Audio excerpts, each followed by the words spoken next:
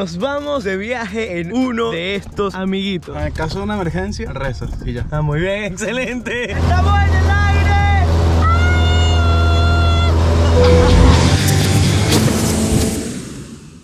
Muchachos, hoy es un día especial, uno de los principales motores de este viaje. Hoy va a ocurrir algo que ninguno se espera, está amaneciendo y el sol está inclemente, pero tenemos este bonito cielo azul. Creo que ya muchos se dieron cuenta que además del cielo, también tenemos un montón de aviones alrededor. Y es que hoy nos encontramos en el aeropuerto ejecutivo de Miami, en la zona de Kendall, porque nada más y nada menos, nos vamos de viaje en uno de estos amiguitos, en un vuelo privado por las costas de la Florida. Esto es una cosa que en ningún momento pensé decirles. No pensé estar viviendo esta experiencia jamás, pero aquí estamos. Honestamente es muy loco estar rodeado de tantos aviones y sobre todo de tanta gente con conocimientos para volar estas máquinas que nos transportan y nos ayudan a conocer un poco mejor el mundo.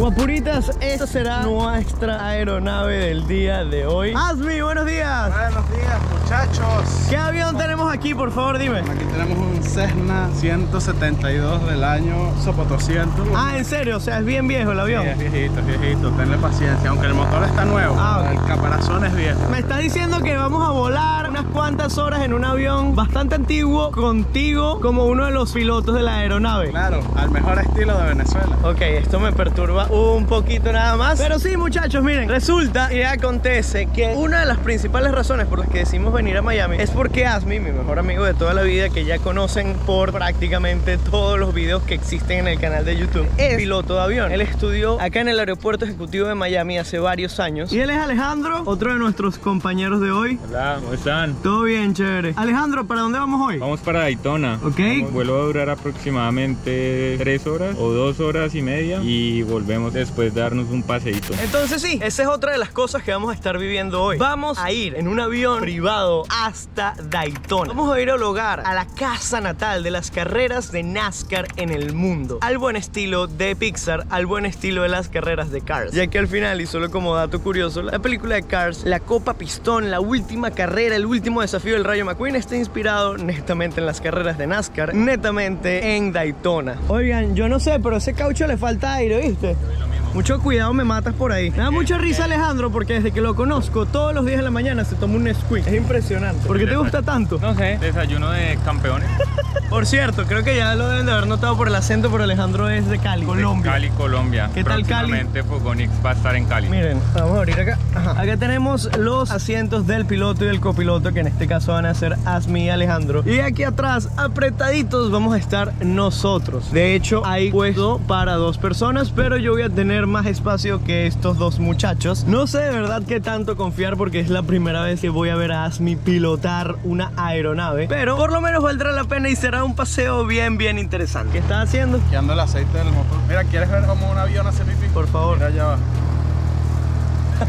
¿Qué, qué? ¿Qué- ¿A qué le estás dando? Una palanquita que es para drenar combustible. Ah, o sea, eso es gasolina. Ah, o sea, vamos a explotar. Sí. Muy bien, gracias. Miren, y acaba de llegar un camioncito. Es el que nos va a echar la gasolina. Sí, correcto. Es lo que acaba de hacer. Que acaba de conectar el avión a tierra para que no vaya a haber estática. Y no explote la gasolina. Y cuando le esté llenando no se vaya a incendiar el avión. ¿Preparado? Listo. Vamos pues. Es el momento de abordar. Bienvenidos a bordo. Gracias, señora azafata. Ay. Ok, cabemos Ponte. cómodos, cabemos todos relajados. ¿Para qué me pongo esto? Porque no vas a soportar el ruido si no te lo pones. Ah, muy bien, o sea, igualito hay que ponernos los audífonos y quedaremos incomunicados todo el camino. Bueno, en fin, vamos a ver. Wow, de verdad que queda demasiado insonorizado. No oigo nada. Ah, Ajá, en caso de una emergencia, rezas y ya. ah muy bien, excelente. Ah, no, mentira. En caso de una emergencia, lo que vamos a hacer es que vamos a intentar aterrizar, vamos a dejar la puerta abierta. Este pana se va a correr para adelante. Tú vas a salir primero. Ah, Aquí abres la puerta aquí. Abres, sales primero, ya después él sale y yo me hundo con la aeronave. No, mentira, tampoco eso. Pero Bueno, pero y entonces, hermano, todo termina en algo fatalista. Antes de encender un motor en un avión, hay que ver para afuera, si quiere que no haya nadie y gritar. ¡Clear, prop! Ah, yo pensé que tenías que gritar muy alto, me asusté. Dije, No, ¿por bueno, qué? hay que gritar alto, grite alto.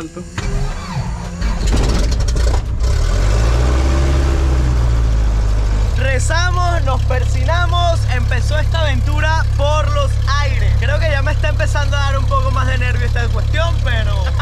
Pero va a estar definitivamente muy divertido. ¡Qué nervios, qué nervios! Estoy impresionado, que produce el motor y todavía no hemos arrancado. Ya miren cómo tengo el pelo. Ok, es oficial, hemos iniciado movimiento. Nos despedimos de las tierras mayameras por un rato y nos ponemos entonces rumbo al aire. Me siento como un piloto sexy así, ¿oyeron? Ya estamos en la pista. Ya vamos a despegar. Listo, pues, dale, piloto, lúcete.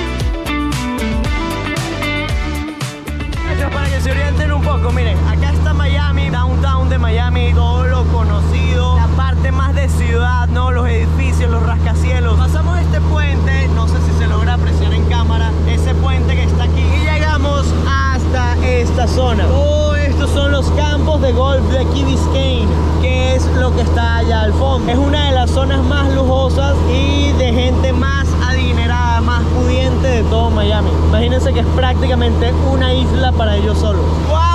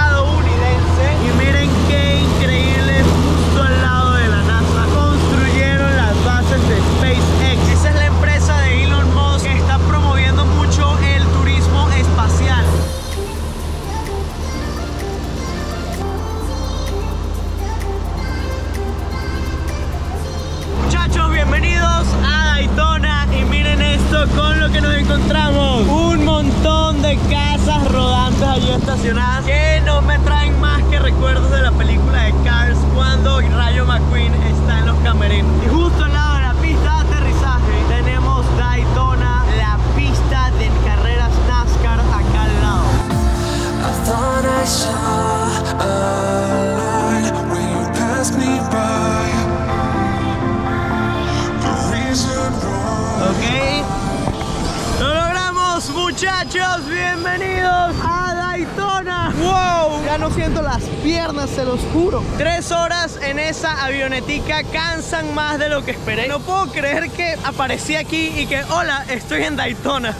¡Qué brutal! Un jet privado, tipo chill aquí cargando combustible, bro. Ok, miren muchachos, esto es... Llegando para acá. Resulta que acá, en este lobby súper fancy, súper glamurosa, es donde reciben a todos los pilotos. Aviones privados, jets privados, avioncitos, avioneticas como la que llegamos nosotros. Es decir, por si se lo preguntaban en los aeropuertos, existen salas de reuniones, de trabajo, con wifi, con televisión, entretenimiento. Porque de repente yo soy el chofer de un jet privado y traje a mi magnate millonario a unas carreras en Daytona. ¿Qué va a pasar? Que yo no voy a entrar a la carrera de Daytona con mi magnate millonario, sino que me voy a quedar aquí sentado viendo la televisión, utilizando el internet, mientras mi magnate millonario termina de ver su carrera, termina de disfrutar su carrera. Hay un montón de mapas del mundo por todos lados, eso está hermoso. Tenemos diferentes modelos de aviones acá, super cool. También una cocina, de verdad que esto parece un apartamento de lujo, hermano. ¿Qué tal esas galletitas? Muy buenas probar. Aquí tienes refresco. Además, eso es impresionante, ¿no? Acá te dejan agua, refresco del que tú quieras, diferentes opciones, galletas y las puedes agarrar libremente, ¿no? Tú llegas y, bueno, voy aquí a esperar, me tomo mi refresco, me como mi galleta, eso es normal. La vida de un piloto, mano. Cero envidia, yo como que ya quiero dejar de ser youtuber y me meto piloto de avión. voy a agarrar una de estas galletitas sin duda alguna.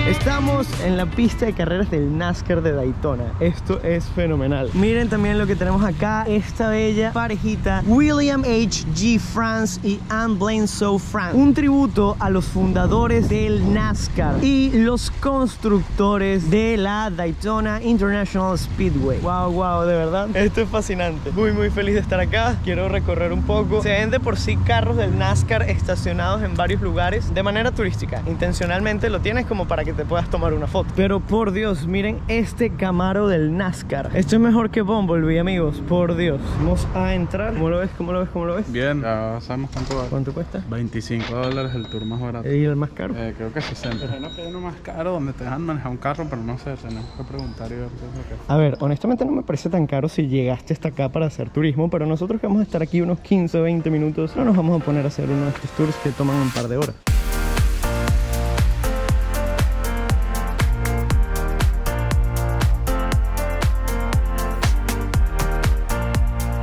Miren, shots de Daytona. Camisetas de Daytona International Speedway y camisetas de NASCAR al estilo tie-dye. Esta camiseta me gustó bastante. Y obviamente, como no, un pequeño vaso de las carreras NASCAR con una representación del Rayo McQueen. Aunque no sé por qué la intuición me hace pensar que esto existió primero que el Rayo McQueen. Estamos viendo la tienda de regalos de acá de Daytona solo para ver si nos llevamos algún recuerdito. Aunque evidentemente en este tipo de lugares los recuerditos suelen salir un poco costosos pero capaz encontrábamos alguna ganga o alguna oferta para marcar, para tener el recuerdo que estuvimos aquí y el cómo llegamos aquí, que es lo más impresionante, ¿no? Me siento en Disney Pixar en este momento, Daytona 500 y también me siento en Mario Kart. Además de que tenemos el Paseo de la Fama por acá, donde están los mejores corredores de la historia de Daytona y eso lo hicieron para celebrar su 60 aniversario, como pueden ver ahí. Muchachos, no me contaron sobre el vuelo, ¿qué tal estuvo? Tranquilo. bueno. Casi morimos. ¿Por qué? Nada, mentira. Todo bien. ¿Cómo te pareció el vuelo? Ah, no, el vuelo me pareció súper. Lo que me da risa es que me daban unos sueños extraños. En una de esas es como que me estaba quedando dormido y me despertaba y yo decía, pero si ni siquiera tengo sueños. Se estaba metiendo smog del motor y nos estábamos envenenando los tres. Eso sí te lo estoy diciendo muy en serio. Ah, muy bien, gracias por la, por la aclaración. Miren esto, qué curioso. Acá en Daytona los pasos peatonales son como metas, metas de carrera. Miren, estamos caminando por acá, acabamos de cruzar la calle y nos encontramos con este artilugio, ¿no? Cargadores para autos Tesla. Miren qué imponente enchufe. Yo creo que si le pegamos la lengua a esto no sobrevivimos. Vamos a dejarlo en su lugar. Me acabo de comprar un Gatorade en la máquina expendedora y nada, ya nos estamos despidiendo de Daytona. Vamos a esperar el Uber que nos lleve de regreso al aeropuerto. Vamos a terminar de recoger todas nuestras cosas, montarnos una vez más en la avioneta y tres horas de camino por los aires de la Florida de regreso a Kendall en Miami.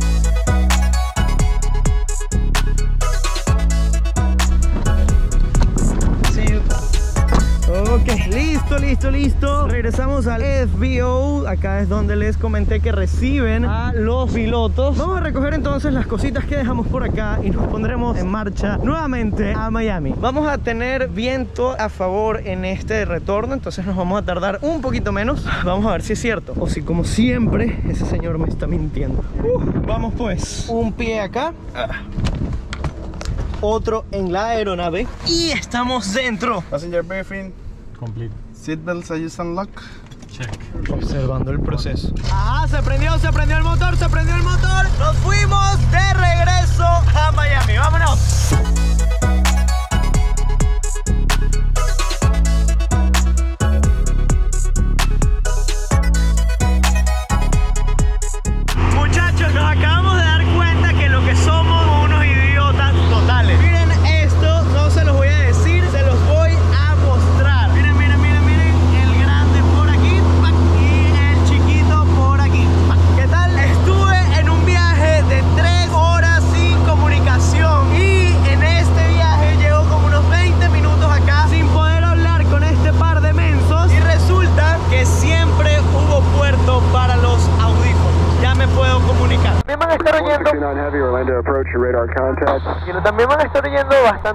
Que son las torres de control dándole vectores a los aviones de, que, que van hacia los aeropuertos adyacentes, ¿no? Se van oyendo cada vez más y más mientras más nos acercamos a, a Miami. November 709, Papa Tango, contact Miami Center 132.25.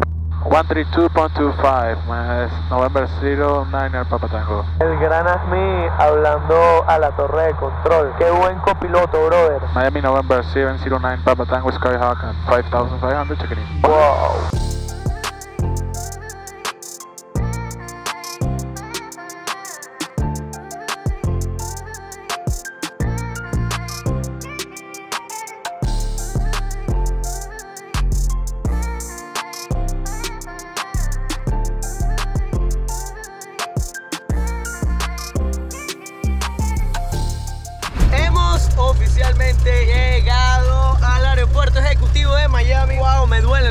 Oídos, me duele